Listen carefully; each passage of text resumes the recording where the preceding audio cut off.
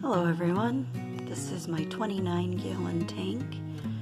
Um, this is the tank I am the most proud of so far, um, just because it's a big community tank and um, not a tank for just one betta fish. I love my betta tanks, but this seems to me to be sort of more of an achievement. Um, got a lot of live plants. Uh, left there's an Amazon sword, hornwort, some kind of Anubias that I super glued to a rock. Um, there is my neon blue dwarf gourami.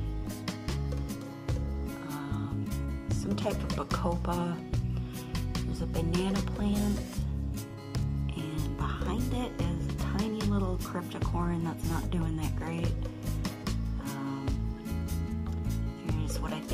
called King's Crown Java Fern. Uh, another Anubias that I super glued to a rock. I think this one's called Coffeefolia. Uh, rosette Sword and Water Wisteria. There are also some Aponogeton bulbs in here that are not growing, unfortunately. Um, this tank's been running for about nine weeks. I've got 12 neons.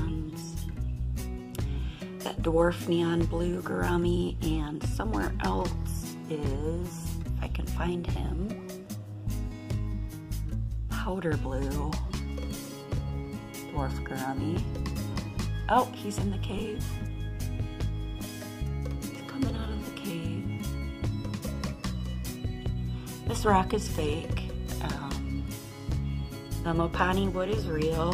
It took it about six weeks to stop fungusing. Um, I read that the sort of fungus it grows is not harmful, um, and it did go away on its own. Um, I keep this tank at 80 degrees. I feed um, bug bites. I feed extreme flake food I also feed Repashy forager mix. Um, kind of call this tank my second TV.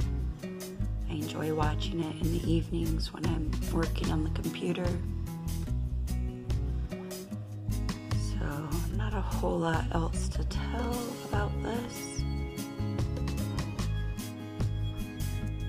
I hope you enjoy seeing it.